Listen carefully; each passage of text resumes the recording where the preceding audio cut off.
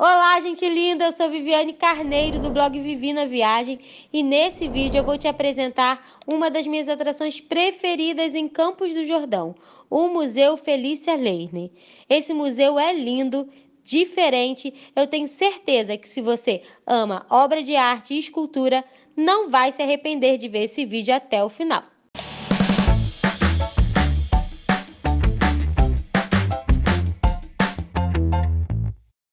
Atrações mais interessantes aqui em Campos do Jordão é o Museu Felícia Lerner.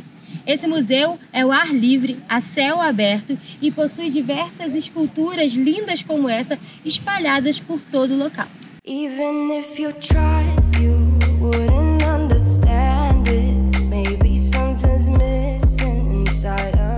Além dessas esculturas brancas, você também vai encontrar esculturas de pedra e ferro. Você tem três formas de conhecer aqui todo o museu. O percurso fácil, intermediário e difícil. Basta você escolher qual quer fazer, pegar o mapinha e seguir, que é super fácil.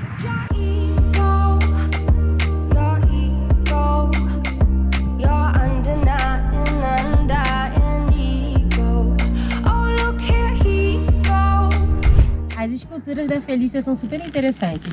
É, cada uma, você olha assim e imagina o que seja pelo formato dela. Essa daqui o nome é Bichos, ela é feita de cimento branco armado com ferro.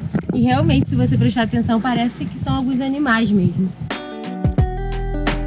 Every single day just the same.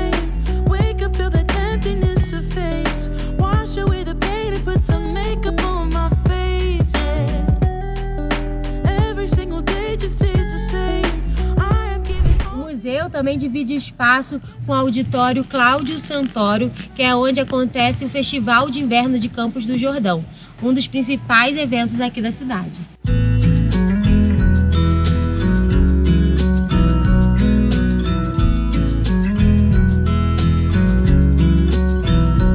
Minha primeira visita a este lugar, antevi flores silvestres misturando-se à música tocada no auditório numa viagem por caminhos pontilhados por minhas esculturas.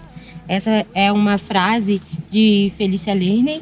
Ela é uma artista polonesa, veio morar no Brasil com 23 anos e após a morte do seu marido, decidiu morar de vez em Campos do Jordão. Viu só como o Museu Felícia Lerner é lindo e super diferente?